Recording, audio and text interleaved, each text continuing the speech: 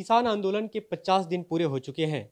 दिल्ली की सीमा पर किसान लगातार डटे हुए हैं। इस बीच सरकार के साथ कई दौर की वार्ता हो चुकी है। मामला सुप्रीम कोर्ट तक पहुँचा, लेकिन कोई रास्ता निकलता नहीं दिख रहा। हमारे साथ मौजूद हैं योगेंद्र यादव जी, जो किसान आंदोलन के महत्वपूर्ण नेतृत्वकर्ताओं में शामिल हैं। स्वराज इंडिया के संस्थापक हैं। आगे क्या रास्ता देखते हैं इसका? क्योंकि लगातार किसान अभी भी धरने पे हैं, आंदोलन पे हैं। आप लोगों की लगातार वार्ता हुई सरकार से, सुप्रीम कोर्ट तक मामला गया, उससे लेकर जो कमेटी बनाई गई, उस पर भी सवाल खड़े हो रहे हैं। ये एक ऐतिहासिक आंदोलन है। ऐतिहासिक सिर्फ़ इस मायने में नहीं कि लाखों किसान आके दिल्ली में बैठे हैं। ऐतिहासिक इस मायने में भी कि ये किसान सिर्फ़ इस इलाके से नहीं आ रहे पूरे देश से कहीं ना कहीं किसान आए हैं। ऐतिहासिक इस मायने में कि पूरे देश के जो किसान आ नहीं पा रहे हैं उनके मानस को भी ये आंदोलन छू रहा है। ऐतिहासिक इस मायने में कि जिन मुद्दों पर लड़ाई हो रही है, वो मुद्दे सचमुच इस देश में खेती किसानी का भविष्य तय करने वाले हैं। और ऐतिहासिक इस मायने में कि पचास दिन हो गए हैं। ऐसा संघर्ष, इतना बड़ा जन आंदोलन कम से कम मैंने अपनी आँख से कभी नहीं देखा। इसलिए इस आंदोलन का भविष्य तय करने में देश की तमाम ताकतें अब आ गई हैं। सत्ता है, और सत्ता के पीछे जो पूंजी की सत्ता है, वो भी है। इन दोनों से आज मुकाबला है किसान आंदोलन का। मुझे विश्वास है कि चाहे लंबा खिंचे, लेकिन ये आंदोलन किसानों के लिए भविष्य की एक सकारात्मक दिशा लेके जाएगा। किसानों में वो चेतना जगाएगा, किसानों में वो संगठन बजाएगा, किसानों में वो आवाज़ उठाएगा, जिसकी किसानों को बहुत वक्त से ज़रूरत थी। आपने जो कहा कि तमाम ताकतें आ चुकी हैं, क्या ये ताकतें दोनों तरफ़ हैं? ये इस मायने में सवाल है कि जो अभी तक सवाल उठ रहे थे, आप लोगों की तरफ़ से सवाल उठाए गए कि तमाम दलों के नेता इसे लेकर कह रहे हैं कि खालिस्तानी ताकतें इस आंदोलन के पीछे, लेकिन बीत जो सुप्रीम कोर्ट तक मामला गया उसमें अटॉर्नी जनरल की तरफ़ से बात कही गई कि कहीं ना कहीं इसके पीछे फ्रिंज एलिमेंट है खालिस्तानी लोग हैं। उन्होंने जो कहा कोर्ट में वो था कि इन लोगों ने इनफिल्ट्रेट किया है इनके पीछे नहीं है। एक तो होता है आप कहें कि इस आंदोलन के पीछे वास्तव में जो सही ताकत है वो कुछ और है। जैसे मुझे लगता है सरकार जो इन कानूनों का विरोध कर रही है उसके पीछे जो सही ताकत है वो इस देश के बड़े बड़े कॉरपोरेट घराने हैं। जो अटॉर्नी जनरल ने कहा है वो ये है कि इसमें कुछ लोग घुसपैठ कर गए हैं। घुसपैठ कर गए तो आप पकड़ो ना, बताओ ना। हमने पहले दिन से, वो जब शंभू बॉर्डर पे जब हुआ था चंडीगढ़ के नज़दीक, उस दिन से हमने इस किस्म के किसी भी एलिमेंट को आंदोलन से दूर रखा है, बाहर रखा है। बिल्कुल स्पष्ट कहा है कि ऐसे किसी अलगाववादी ताकत का इस आंदोलन में कोई हाथ नहीं हो सकता। कई लोग जो हमारे साथ जुड़ सकते थे उनको हमने जुड़ने नहीं दिया, कहा कि नहीं, हमें आपकी मदद की ज़रूरत नहीं है। क्योंकि हम, ये हमारे देश का आंदोलन है, देश के भीतर चलेगा, देश में हमें इसे चलाना है। और इस आंदोलन से ये देश मज़बूत होगा, कमज़ोर नहीं होगा। हमारी तरफ़ से बिल्कुल स्पष्ट है कि ऐसे किसी संगठन से कोई लेना देना नहीं है। अगर अटॉर्नी जनरल ये दिखा सकें कि इस आंदोलन के नेतृत्व में, इस आंदोलन को चलाने वाले लोगों में कमेटियों में, इस आंदोलन के निर्णय की प्रक्रिया में ऐसे किसी एलिमेंट का हाथ है तो दिखाएँ। आप लोगों की सरकार से लगातार वार्ता हो रही है बीच बीच में बयान भी आ रहे हैं सरकार से जुड़े लोगों के। खास तौर पे जो रक्षा मंत्री राजनाथ सिंह का एक बयान आया कि किसानों के साथ खड़ी है सरकार, जो भी मुद्दा होगा मिल बैठकर सुलझा लेंगे। लेकिन अटॉर्नी जनरल की बात चूँकि सरकार की बात होती है तो ये दो तरफा बातें एक साथ चल रही हैं। सरकार से जुड़े लोग कुछ और कह रहे हैं, लेकिन सरकारी संस्था से जो जुड़े लोग कोर्ट में कुछ और कह रहे हैं। वही दिक्कत है, सरकार दो मुही बातें कर रही है। राजनाथ सिंह कहते हैं, किसान हैं, हम सम्मान करते हैं, कोई खालिस्तानी इनको नहीं कहेगा, और दूसरी तरफ़ अटॉर्नी जनरल कुछ और बयान देते हैं। कृषि मंत्री कहते हैं, किसानों ने इतना अभूतपूर्व शांतिमय आंदोलन चलाया है, मैं इसका बहुत, आपका धन्यवाद करता हूँ। और दूसरी तरफ़ वो कहते हैं अराजक हैं माओविस्ट हैं, नक्सल हैं, ये हैं, वो हैं, पाकिस्तानी हैं। और ये कोई अनायास नहीं है। ये जानबूझ के, जिसको अंग्रेज़ी में बोला जाता है, good cop, good cop, bad cop. एक आदमी अच्छी बात कहेगा, दूसरा आदमी बुरी बात कहेगा, दोनों की बातें चलती रहेंगी, ताकि जनता के मन में भ्रम पैदा हो सके। ये खेल बीजेपी कर रही है और ये खेल अब जनता देख चुकी है, इसका असर होना बंद हो गया। लेकिन ऐसे सवाल उठने शुरू हुए। आपने कहा कि ऐसे किसी लोगों को हमने शामिल नहीं होने दिया जो शामिल हो सकते थे। लेकिन आंदोलन में ही कुछ ऐसे पोस्टर नज़र आए जो सी ए प्रोटेस्ट के दौरान जिन लोगों को हिरासत में लिया गया था, गिरफ्तारी हुई थी, उन्हें रिलीज़ करने की मांग थी। और उसके बाद लोगों ने इसे सी प्रोटेस्ट से जोड़ना शुरू किया, खासकर किसान आंदोलन को। दिक्कत ये हो गई है कि इस देश के मीडिया को बेचारों को और कोई काम नहीं है तो ढूंढते हैं। अब जहाँ लाख लोग बैठे हैं, उस लाख में आपको संत भी मिलेंगे, उस लाख में आपको कोई गुंडा भी मिल जाएगा, उस लाख में आपको समझदार लोग मिलेंगे, उस लाख में आपको कुछ बेसमझ के लोग भी मिलेंगे। उसमें आपको अलग अलग विचार के लोग मिलेंगे, क्योंकि ये किसी एक पार्टी का आंदोलन नहीं है, किसी एक संगठन का आंदोलन नहीं है। ग्यारह दिसंबर को जो हुआ वो ये कि वो ह्यूमन राइट डे था। अब इस आंदोलन के दौरान हम चौधरी चरण सिंह की बरसी आती है, वो मनाते हैं, चौधरी छोटू राम की मनाते हैं, विवेकानंद की मनाते हैं, जो सावित्री बाई फुले का जयंती भी मनाते हैं। तो ह्यूमन राइट्स डे उन्होंने मनाया एक संगठन ने और उस संगठन ने अपनी ह्यूमन राइट्स की बातें रखी। इसमें क्या बुरी बात है? बुरी बात तब होती अगर किसान आंदोलन उन मांगों को अपनी मुख्य मांग में शामिल करता मुख्य या सेकेंडरी मांग में भी शामिल करता जो है ही नहीं। हमारे सवाल आपने जो विचार की बात की सवाल तो विचार को लेकर ही है। आपको लेकर भी सवाल उठे कि आपका नाम चार्जशीट में आ गया है और आप किसान आंदोलन से भी जुड़े हुए हैं। अब आप बताइए जिसका मतलब है कि कोई व्यक्ति जिसका नाम सरकार किसी चार्जशीट में डलवा दे उसको घर बैठ जाना चाहिए? आपका नाम कल मैं किसी झूठी चार्जशीट में डलवा दूँ। आपको अरेस्ट ना करूँ, आपसे पूछूँ भी नहीं। और इसका मतलब है कल से आप पत्रकारिता बंद कर देंगे, है ना? जो ऐसा एक इम्प्रेशन बनाया गया है कि मैं किसान आंदोलन में आज जुड़ा हूँ। उन साथियों को जो जानना चाहते हैं, दरअसल दिक्कत यह है कि मीडिया का एक सेक्शन है, वो जानना चाहता नहीं है, उन्हें सब कुछ पता है, लेकिन जानबूझ के आँख बंद कर रहे हैं। सन 2015 से लेके पिछले पाँच साल में अगर मैंने कोई एक मुख्य काम किया है तो केवल और केवल किसान आंदोलन का काम किया है। 2015 में टीकरीवाल से 2015 अगस्त में पंजाब के टीकरीवाल से हमने एक ट्रैक्टर मार्च निकाला। ये जो फार्म ऑर्डिनेंस उस वक्त मोदी जी ला रहे थे उसके विरुद्ध। फिर देश में बहुत बड़ा सूखा पड़ा। तो हमने कर्नाटका से हरियाणा तक की यात्रा की साढ़े चार हज़ार किलोमीटर की, किसानों की सूखे की दशा के बारे में। उसके बाद हमने सुप्रीम कोर्ट में केस डाला। 2016 में वहाँ मराठवाड़ा से बुंदेलखंड की हमने यात्रा की क्योंकि दोनों इलाकों में भयंकर सूखा था। वहाँ पे उनकी मदद करने के लिए क्या किया जा सकता है? बुंदेलखंड जाके बैठ गया मैं। और 2017 में अखिल भारतीय किसान संघर्ष समन्वय समिति की स्थापना हुई। 2017 से मैं उसके संस्थापकों में से एक हूँ जो कि इस आंदोलन के पीछे एक प्रमुख स्रोत है प्रमुख संगठन है। उसके संस्थापकों में से मैं एक हूँ 2017 में। उसके बाद से हमने देश में न जाने कितनी किसान मुक्ति यात्राएँ की कोई दस हज़ार किलोमीटर की किसान मुक्ति यात्राएँ की। आ, उसके बाद से किसानों के जो भी छोटे बड़े संघर्ष हैं दिन रात शामिल हों। अब उसमें क्या है कि कुछ लोग बेचारे एक महीना पहले जागे हैं। उनको लगता है कि अच्छा योगेंद्र यादव यहाँ पे आ गए। अब उनका क्या कहूँ मैं नहीं कह सकता हूँ कोई बात नहीं भाई।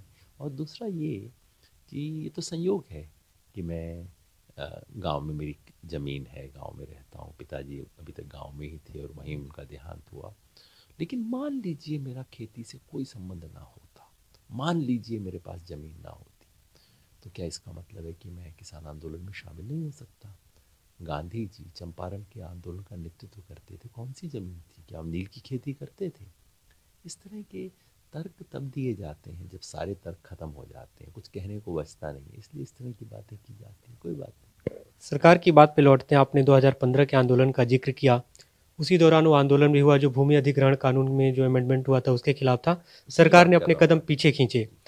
उस समय से अब तक क्या कुछ बदला कि उस समय के विरोध को सरकार ने एक तरह से स्वीकार किया और अपने कदम वापस खींचे जो भूमि अधिग्रहण कानून की बात थी। लेकिन अभी 50 दिनों से आंदोलन हो रहे हैं वार्ता पे वार्ता जारी है। लेकिन सरकार कदम पीछे खींचने को तैयार नहीं है या कानून वापस लेने को तैयार नहीं है। आ, मैंने जो बताया टिकरीवाल से ट्रैक्टर यात्रा वो इसी संबंध इसी आंदोलन का हिस्सा थी। उस समय सरकार ने वापस लिया उसके दो कारण हो सकते हैं। एक तो ये कि उनके पास राज्यसभा में मेजोरिटी नहीं थी। मोदी जी ने एक बार नहीं तीन बार वो ऑर्डिनेंस लागू किया था। फिर आखिर में झक खा के क्योंकि राज्यसभा में मेजोरिटी नहीं थी वापस लेना पड़ा। आज एक तो मेजोरिटी अब इनको एक तरह की विश्वास है कि संसद हमारे साथ है, कुछ भी करवा सकते हैं। दूसरा मैं समझता हूँ, दूसरा चुनाव जीतने के बाद से जो अहंकार, जो घमंड आ गया इस सरकार में, वो वो वो इतना अधिक है कि अब इन्हें लगता है कि किसी की सुनने की ज़रूरत नहीं है। नहीं तो आप ही सोचिए, लोकतंत्र में ऐसा हो सकता है कि ऐसी कोई सरकार हो तो पचास दिन से लाखों लोग बैठे हैं। और इनके पत्थर सा कलेजा, इन्हें कोई फ़र्क नहीं पड़ता। ऐसा संभव है क्या? ये इसीलिए कि इतना घमंड आ गया है। और मैं समझता हूँ कि लोकतंत्र कहीं ना कहीं इस घमंड की दवा तो देगा।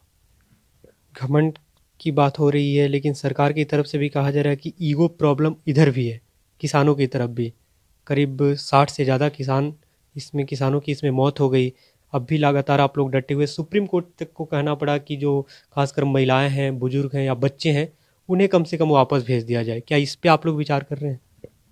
मतलब क्या सरकार ये कह रही है कि यदि हमारे किसी साथी की मौत हो जाए, शहादत हो जाए तो हमें तंबू उठा के वापस घर चले जाना चाहिए? रही बात महिलाओं, बुज़ुर्गों और बच्चों की। सुप्रीम कोर्ट की भाषा बड़ी विचित्र थी। दे हैव बीन केप्ट जैसे उनको अपनी इच्छा के विरुद्ध रोका गया। एक व्यक्ति दिखा दीजिए जिसको इच्छा के विरुद्ध रोका गया है। हम माफ़ी मांगेंगे, उसको घर छुड़वाने का इंतज़ाम करेंगे। इस तरह की भाषा शोभनीय नहीं है। बुज़ुर्गों और बच्चों के बारे में तो फिर भी कोई कुछ बोल सकता है। ये कहना कि महिलाएँ आंदोलन में हिस्सा न लें, ये कह के सुप्रीम कोर्ट इस देश के संविधान का अपमान कर रहा है। इस देश का संविधान महिला पुरुष को बराबर वोट देता है, बराबर बोलने की आज़ादी देता है, बराबर प्रदर्शन की आज़ादी देता है। तो क्या सुप्रीम कोर्ट कह रहा है महिलाओं के लिए वो आज़ादी नहीं है? मुझे बहुत दुख हुआ कि सुप्रीम कोर्ट इस तरह की बातें कहते हैं, क्योंकि बहुत बड़ी कुर्सी है सुप्रीम कोर्ट की चीफ जस्टिस की। इतनी बड़ी कुर्सी से इस तरह की छोटी बातें आएँ, ये बहुत दुख की बात है। हमारी तरफ़ से कोई जिद नहीं है, हमारी तरफ़ से कोई अड़ियलपना नहीं है। हम सरकार ने जब जब बुलाया है वार्ता के लिए, चाहे पिछली वार्ता में कुछ नहीं निकला, फिर भी हम गए हैं। पंद्रह तारीख की वार्ता है। हमारा संकल्प सीधा है, हम ज़रूर जाएँगे। वार्ता से कोई इनकार नहीं है। वार्ता में कुछ लिख ले, ना लिख ले, ये तो सरकार को तय करना है ना। अगली वार्ता में आप लोग जाएँगे, लेकिन इस बीच जो सुप्रीम कोर्ट ने कमेटी बनाई, उसे लेकर लगातार सवाल खड़े हो रहे हैं। लेकिन जो कहा जा रहा है कि वो कमेटी किसानों से बात करेगी, लेकिन सुप्रीम कोर्ट ने तो खुद को समझने के लिए बनाया कि किसान कानून ये क्या है, किस, और किसान क्यों विरोध कर रहे हैं, इस पर एक एक्सपर्ट कमेटी बनाई गई। उसे लेकर क्या कुछ सवाल है?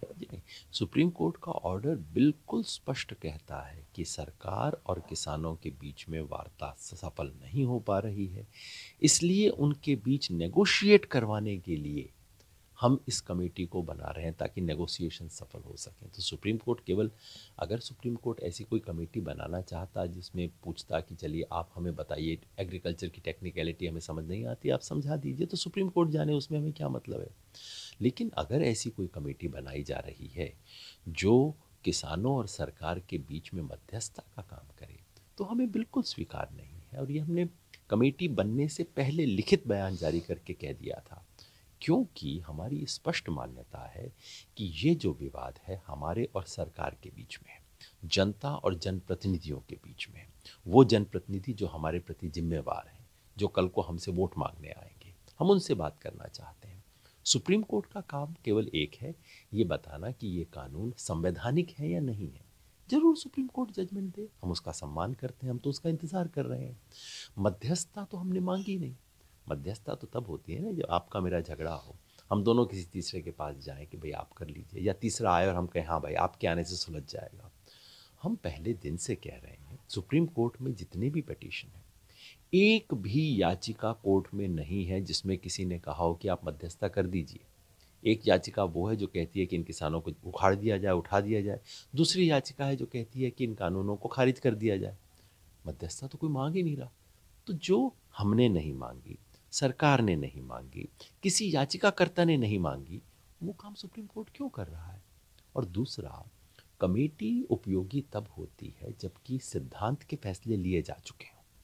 अगर सरकार मान लीजिए कहती है कि हाँ हम एमएसपी का कानूनी अधिकार देने को तैयार हैं, फिर एक कमेटी बनाई जाए कि वो कानूनी अधिकार कैसे दिया जाए? कानूनी अधिकार दिया जाएगा या नहीं दिया जाएगा? ये कमेटी कैसे तय कर सकती है? लेकिन उस कमेटी में जो लोग हैं, खासकर उनका एक लंबा अनुभव रहा है। जो अशोक गुलाटी कृषि वैज्ञानिक बी एस मान किसानों के नेता हैं वो और प्रमोद जोशी ये तमाम बड़े नाम हैं। तो आप लोग को इनसे आपत्ति क्या है? पहला तो मैं बता दूँ कि हमारी आपत्ति इनके नाम घोषित करने से पहले से थी। हमने आपत्ति इन, इनके नाम आने के बाद नहीं की थी उससे पहले हमने कह दिया था हम ऐसी किसी कमेटी से कोई लेना देना हमारा नहीं जहाँ तक इन चार लोगों की बात है बड़े जानकार लोग हैं। अनुभवी लोग हैं और तीनों कानूनों के इनसे अच्छे वकील हो नहीं सकते। इन चारों लोगों ने खुल के पब्लिक में तीनों कानूनों को डिफेंड किया है। इनफैक्ट सरकार को डिफेंड करने वाले मुख्य लोग ही ये चार हैं। इन्होंने डिफेंड किया है। इन्होंने किसान आंदोलन को भटका हुआ, दुराग्रही और एक ने तो यहाँ तक कि मतलब ये बदमाशी कर रहे हैं। यहाँ तक कहा गया हमारे बारे में। ये लोग बिल्कुल सरकार की टीम में शामिल हो। नेगोशिएशन में हमें क्या एतराज़ है? सरकार को अपने पक्ष में बैठाए इन तीनों को जज बना के रखा, इन तीनों को रेफरी बना के रखा, इससे बड़ा मज़ाक क्या हो सकता है? कल को आप कहें कि विराट कोहली इतने शानदार प्लेयर हैं, इसलिए उनको अंपायर भी बना दिया जाए। ये वो मामला है। अंपायर कैसे हो सकते हैं? जब मैं कहता हूँ कि विराट कोहली अंपायर नहीं हो सकता तो मैं नहीं कह रहा कि विराट कोहली खराब प्लेयर है, बहुत अच्छा प्लेयर है। इनको अंपायर कैसे बना सकते हैं? मैं तो हैरान हूँ सुप्रीम कोर्ट। और ऐसा करके सुप्रीम कोर्ट ने किसानों के बीच में अपनी छवि को कम किया है। सुप्रीम कोर्ट ने कानून को होल्ड करने की भी बात कही है और उसके आधार पर कहा गया कि किसान अब अपना आंदोलन वापस लें, अपने घरों की तरफ़ लौटें और फिर इस पर चर्चा होगी, विचार होगा कि आगे का क्या रास्ता निकलता है। होल्ड के फैसले से भी आप लोग संतुष्ट नहीं हैं? सुप्रीम कोर्ट ने वो नहीं कहा है जो आप सोचते हैं कि उसने मतलब उसके बाद ये बातें कही गई सुप्रीम कोर्ट ने होल्ड किया उसके बाद लगातार ये बातें सुप्रीम कोर्ट ने स्टे दिया है। स्टे का मतलब क्या होता है? स्टे का मतलब होता है कि जब तक सुप्रीम कोर्ट स्टे को लिफ्ट नहीं करेगा तब तक के लिए स्टे है। कब लिफ्ट करेगा? अगले सप्ताह कर सकता है। आज सुप्रीम कोर्ट ने स्टे दिया कल हम उठ के चले गए जब हम घर पहुँचे तो पता लगा स्टे तो उठ गया। आराम से सेंट्रल विस्ता प्रोजेक्ट में यही तो हुआ। एक महीना पहले कोर्ट ने स्टे दिया। हमारे कई साथियों बड़े खुश हो गए सुप्रीम कोर्ट ने स्टे ऑर्डर दे दिया है।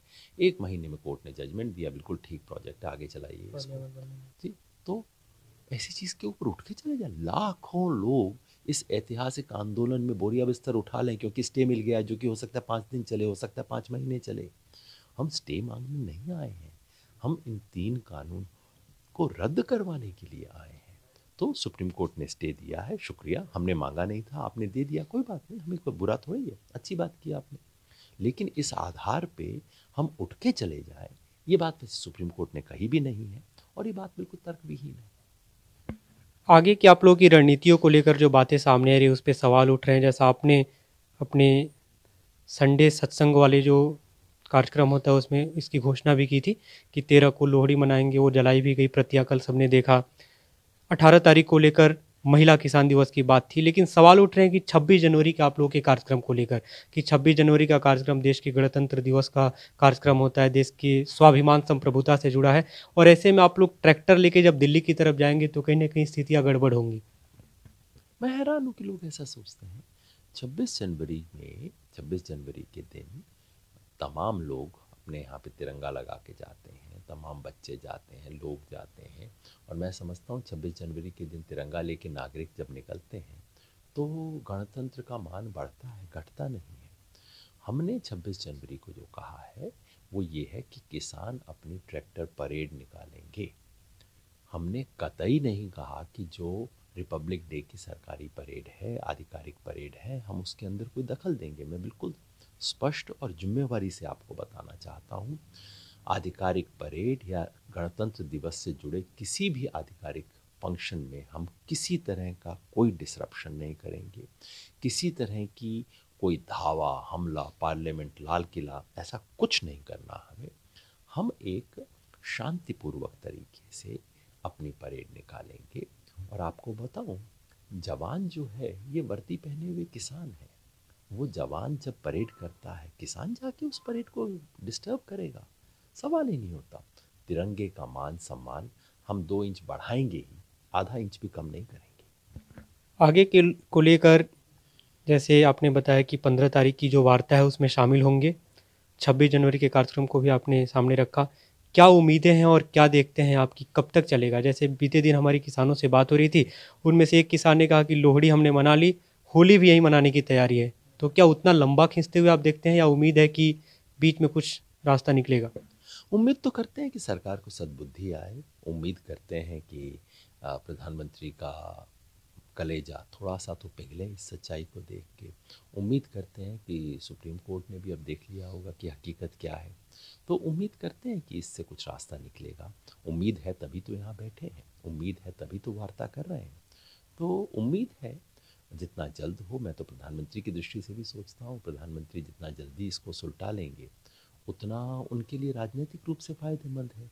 दो महीना पहले मान जाते तो अपनी बड़ी वाहवाही होते, लोग उनकी जय जयकार करते हुए जाते।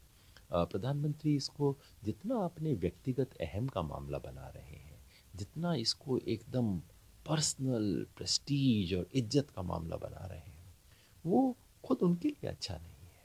तो मेरी उम्मीद है प्रधानमंत्री, केंद्र सरकार और बाकी सब लोग सद्बुद्धि आएगी और जल्द से जल्द समाधान करेंगे। जहाँ तक हमारी बात है, हम इस संकल्प के साथ बैठे हैं कि समाधान करवा कर ही उठेंगे। कानून वापस होंगे, तभी हम घर वापस जाएँगे। बहुत बहुत धन्यवाद बातचीत के लिए। तो सवाल सुप्रीम कोर्ट के फैसले पे है, सरकार की नीयत पे सवाल है, लेकिन संकल्प दृढ़ है। कि जब तक कानून वापस नहीं होते, जब तक मांगे पूरी नहीं होती, तब तक डटे रहेंगे। देखने वाली बात है कि आंदोलन कब तक चलता है, कब तक किसान दिल्ली की सीमाओं पर खुले आसमान के नीचे बैठने को मजबूर होते हैं। निरंजन मिश्रा भी भारत, दिल्ली।